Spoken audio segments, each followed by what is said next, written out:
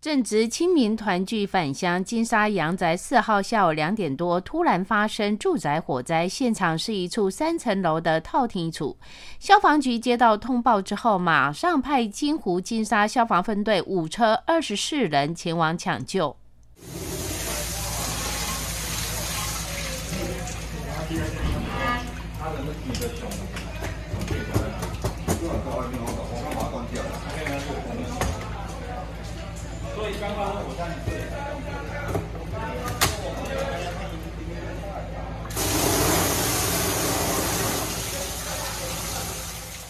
入门抢救发现，火势是在一楼的茶水间，燃烧面积大约是两平方公尺，马上出水扑灭，对整栋楼实施逐层逐房全面搜索，确认无人伤亡受困。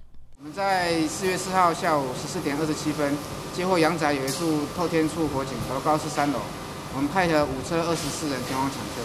那指挥官是大队长陈三奇。那到现场一二三楼都冒出黑烟。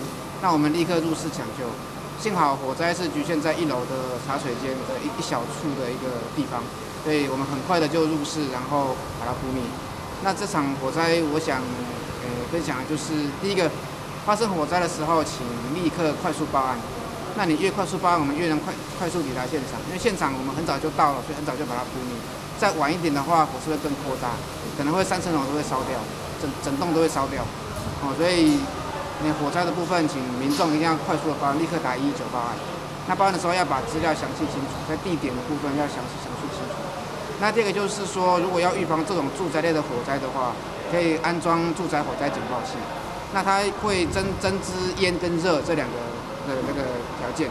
那它会发出警报声来警警呃来通知那个住宅里面的人，可以更早的发现火灾，让火灾在很小的时候就把它扑灭掉。